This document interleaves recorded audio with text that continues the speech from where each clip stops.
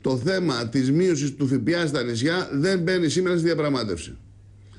Μάλιστα. Αυτό, Αυτό είναι μας μια ικανοποιεί είδηση καινούργια ιδιαιτέρως. που μας δίνεται. Και κλείνει ακριβώς. Όπως και το ότι οι αυτό Βρυξέλλες κλείνει ήταν το εκείνες θέμα που εδώ. πρότειναν. Θα γίνει περιορισμός των εξόδων, παραδείγματος χάρη στη διατήρηση στρατοπέδων.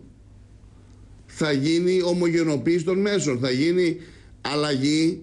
Θα γίνονται αλλαγές ήδη πολλές μεταρρυθμίσεις σε σχέση με την συνταξιοδότηση των στελεχών ενόπλων δυνάμεων. Δεν θα φεύγει κανείς πριν από τα 58. Δεν μπορεί να έχουμε αποστράτους των 40 χρονών, 45 χρονών, οι οποίοι να, ε, οι άνθρωποι να μην έχουν και τι να κάνουν. Αυτό έτσι. εντάσσεται μάλλον στην Ε, κατάξυση των άμα πρόοδων. τα να λέτε, καταφέρεις έτσι. αυτά θα μείνει στην ιστορία. Διότι Ε, όντως βλέπουμε, Αυτά, βλέπουμε, θα, αυτά θα γίνουν. βλέπουμε ανθρώπους 40 χρονών να Όπως παίρνουν κάναμε σύνταξη. για τους φαντάρους.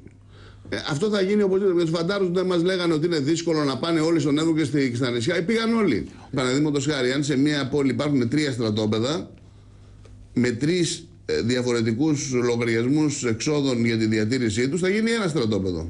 Θα κλείσουν τα άλλα δύο, λέτε. Ε, για- και αυτό θα έχει Θα οικονομία. κλείσουν τα άλλα δύο. Ε, για θα τους συμμαζευτούν τα τρία εξοπλισμούς- στρατόπεδα σε ένα. Για τους εξοπλισμούς γενικά που υπάρχει το θέμα να μειωθούν οι, οι δαπάνες. Το ρωτήσαμε. Κύριε Οικονομία, αυτά που κάνουμε αυτή τη στιγμή για τους εξοπλισμούς, για να καταλάβετε, δε- δεν ψωνίζουμε.